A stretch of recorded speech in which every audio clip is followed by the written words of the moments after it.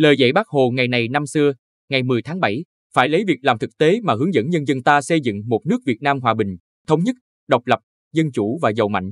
Lời dạy trên đây của Chủ tịch Hồ Chí Minh được trích trong bài Quốc hội ta vĩ đại thật, đăng trên báo Nhân dân, số 2304, ngày 10 tháng 7 năm 1960. Bài viết đã nêu lên ý nghĩa và những quyết định lịch sử của Quốc hội khóa 1, đồng thời khẳng định thắng lợi của cuộc tổng tuyển cử bầu Quốc hội khóa 2 trong bối cảnh nhân dân ta đang đẩy mạnh xây dựng chủ nghĩa xã hội ở miền Bắc và đấu tranh chống đế quốc Mỹ xâm lược giải phóng miền Nam, thống nhất nước nhà. Đây là sự kỳ vọng, cũng là lời căn dặn và giao nhiệm vụ của Chủ tịch Hồ Chí Minh để các đại biểu Quốc hội khóa 2 thực sự là nơi gửi gắm quyền lực chính trị của nhân dân. Quốc hội phải tuyệt đối trung thành với mục tiêu xây dựng một nước Việt Nam hòa bình, thống nhất, độc lập, dân chủ và giàu mạnh. Để đạt được mục tiêu đó, mỗi đại biểu Quốc hội phải luôn sâu sắc thực tế, bám nắm thực tiễn, thấu hiểu tâm tư, nguyện vọng của nhân dân và bằng những hành động cụ thể, mẫu mực để làm gương và hướng dẫn nhân dân.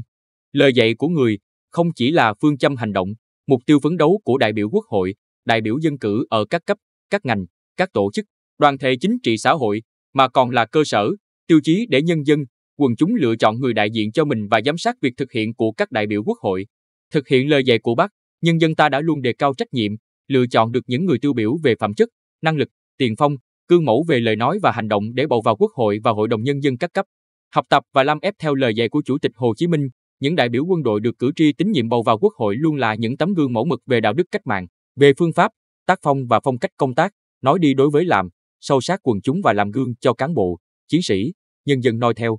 Trong tình hình hiện nay, trước xu thế dân chủ hóa và yêu cầu phát huy nhân tố con người trong xây dựng quân đội, đòi hỏi cần phải quán triệt sâu sắc lời dạy của Chủ tịch Hồ Chí Minh và thực hiện tốt quy chế dân chủ ở cơ sở.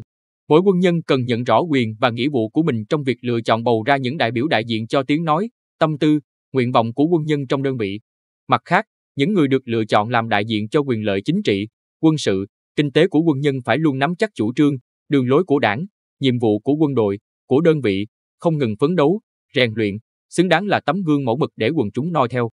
Nội dung video đến đây là hết. Xin cảm ơn các đồng chí, mọi người đã theo dõi. Hẹn gặp lại các đồng chí, mọi người nội dung ngày tiếp theo. Các chú bộ đội xin chào mọi người. Mọi người yêu quý các chú thì hãy nhấn vào nút đăng ký kênh và bấm vào cái chuông để nhận thông báo video các chú bộ đội đăng lên sớm nhất nhé.